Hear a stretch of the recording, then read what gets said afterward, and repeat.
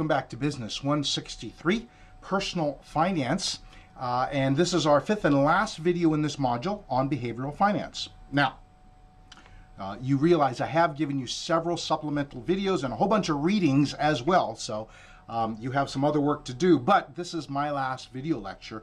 As you can see from this title slide, in this very last lecture, we're talking about the whole issue of online shopping and behavioral finance. And this is really an important um, uh, uh, topic in modern day life, right? Why? Well, as you can see here in the first slide, online shopping is what? It's a permanent part of our lives. We know this, right?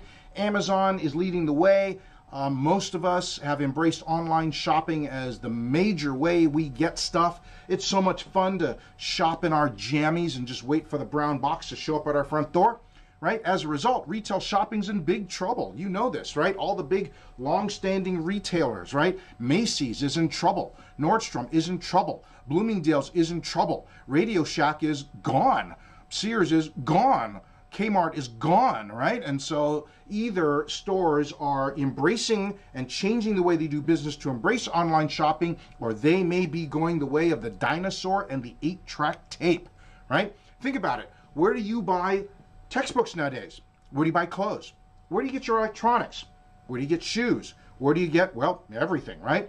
We have embraced online shopping. And so when we talk about behavioral finance and the behavioral elements that sometimes our decisions are, well, well, less than rational, let's take a look at online shopping and how that's true.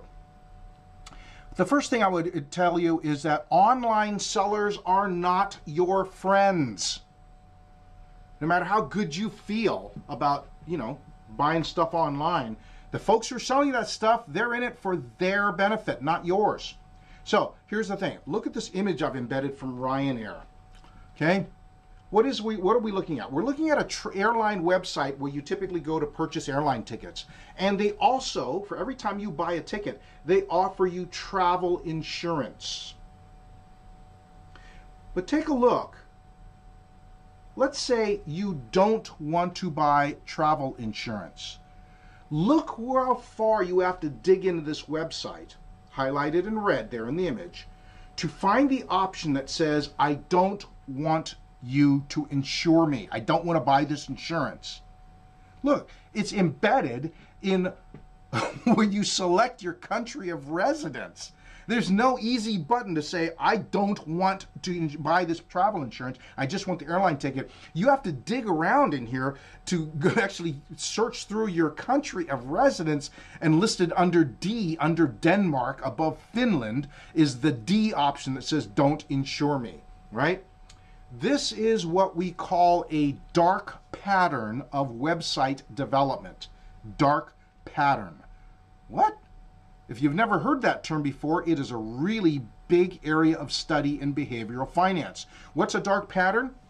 A dark pattern is a visual interface technique to make you do something the company wants you to do and make it difficult, or at the very least non-intuitive, to do what they don't want you to do. And I've given you a supplemental video, video that discusses the whole topic of dark patterns and gives you this example. Here's the example. How do you delete your Amazon account? Most of us, if not all of us, now have an account with Amazon, whether we've decided to go Prime or not, right? We have some sort of account.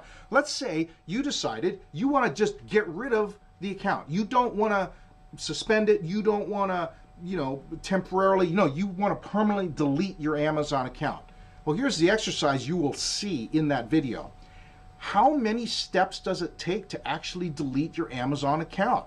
You won't find an easy way to find a button to delete your account. And quite frankly, once you finally find it, which is like more than eight steps to do it, it includes you gotta chat with a live Amazon representative to actually delete your account. And by the way, guess what that rep's gonna do on the live chat? Is gonna try to convince you for 30 minutes why you shouldn't delete your Amazon account. This is what we call in uh, the study of behavioral finance a roach motel. it's easy to get in, it's impossible to get out, like the old roach motel um, uh, uh, commercials on television, right? And there are other common dark patterns. Websites will use color that misleads you and sort of visually calls you to make an unwanted purchase. They're going to increase a sense of urgency to suggest you're going to be left behind using terms like, hey, there's only two left at this price, right? We're low on quantity, right? Those kinds of things, right? They're going to offer you special offers that trick you into signing up for an annual subscription. Or here's another example social media that sells all your personal information without you even realizing it. These are all dark patterns. Now, I want you to think about this for a moment. If you were under the notion that when you go to buy stuff online, the main way that website is designed is simply to make it easy to find what you want and to make it relatively painless to go through the sales transaction. I want you to guess again. Online retailers, online sellers have a vested interest, have an agenda that benefits when you buy more stuff rather than you buying less stuff. And some, not all, but some online sellers will use what we call dark patterns to lead you down the path they want you to go down to buy perhaps more stuff than you intend to buy or buy stuff in ways that you don't want to buy and may give you no easy way of escape they may continue to nudge you, nudge you, nudge you, nudge you to lead you where they want you to go, which is to what? To put more items in your shopping cart. In fact, here's an exercise you can go through. If you just spend 15 to 20 minutes on Amazon.com and count up how many ways on the normal product page that they nudge you to add the item into their shopping cart, here's something you'll find. On many websites, including Amazon and many of the other big retailers, here are some of the nudges you will easily find designed to get you to add more items to your shopping cart. They will serve up free delivery. They will serve up a rating system. They will quote to you the exact amount of money that you've saved with this particular transaction today. They'll give you the sales price in bright red. They will tell you, hey, this is a secure transaction. Don't need to worry. They will use the term great and synonyms like that over and over and over again. They will give you a host of reviews, editorial reviews, consumer reviews. They'll assure you the product is in stock, at least for a limited time. They'll quote you the sales price again. They will tell you you'll earn a certain credit. They'll serve you up over a thousand ratings for product. They'll give you a buy, one click buy now. They'll tell you to look inside. They'll give you a larger, prominent buy button to attract your eyes. They'll, if you in order in three hours, you're going to get this. They'll uh, offer you the way to share and be proud of your purchase on social media. These are just some of the ways that retailers intentionally design user interface to persuade you to buy more stuff from them. Now, here's the thing you need to realize. Dark patterns are a part of clever interface design. They are tricks used in websites and apps to make you do things you didn't mean to, like buying or something, signing up for something you didn't intend to.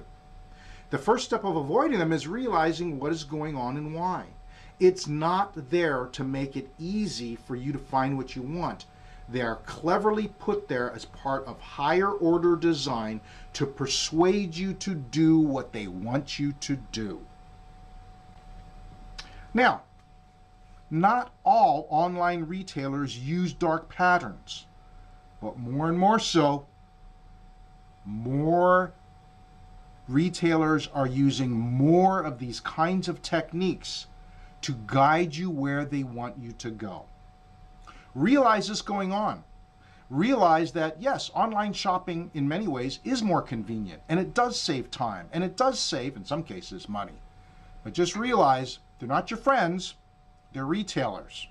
And therefore, you need to be in command and control of your own financial decisions and don't allow yourself to be persuaded by clever design. Well, I hope that helps as it sets the stage for us to consider the impact of behavioral finance on our personal financial lives. Thanks so much for your attention. Don't forget, you've got some supplemental videos that you need to go through, as well as um, a ton of reading, additional readings that I've given you, supplemental readings to download in Canvas. Thanks so much. We will see you in the next module.